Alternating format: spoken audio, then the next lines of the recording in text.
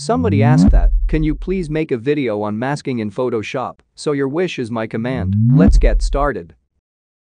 Starting with our first example, so here I have got a background, and over that I got this shape. Now what if I want to remove some part of this circle, so I will simply gonna select my eraser tool and erase it.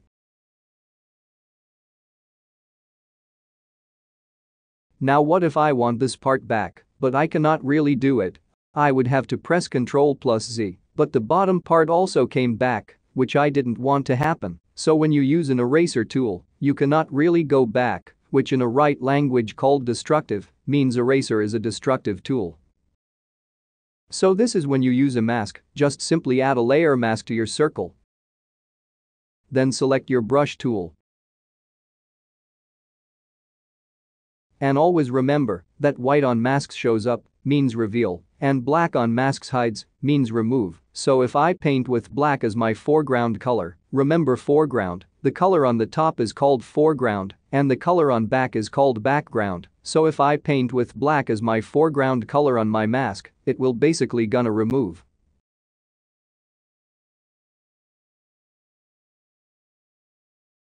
And as you can see those black marks on the mask, Now, what if I want this part back? I can easily do that by changing the foreground color to white because it reveals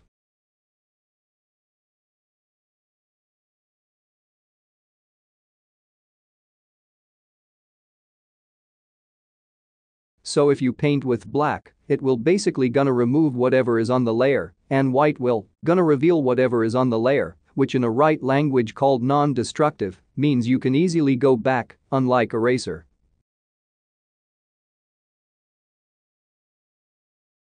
Moving to our second example, so if you haven't noticed, every adjustment layer comes with a mask, so if I here add a exposure adjustment layer to make the edges a little darker, let me just do it really quick.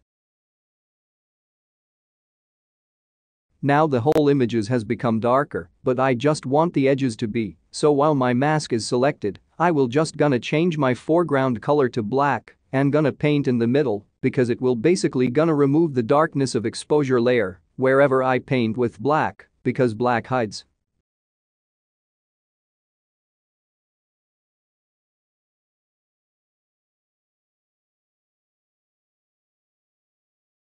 Same with other adjustment layers, so if I here add a hue and saturation adjustment layer and do some changes.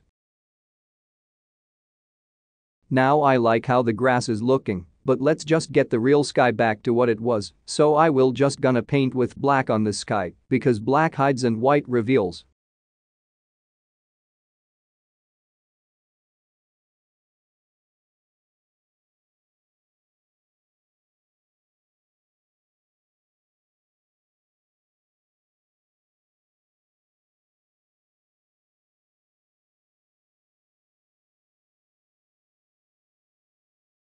So here we are with our last example, so for some reason you want to make this look like that, this dragon is actually underwater and not just floating on it, so just add a layer mask and paint with black.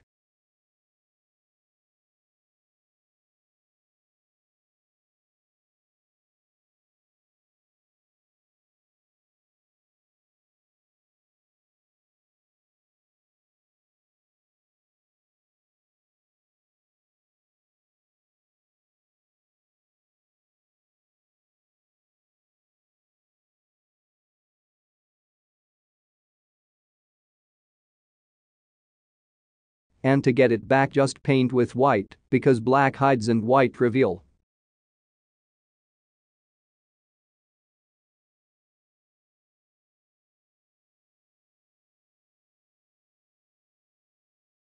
And turns out that most of you who watch my videos aren't actually subscribed, so if you like the content and want to support the channel, then please do it, it's free and you can always change your mind later.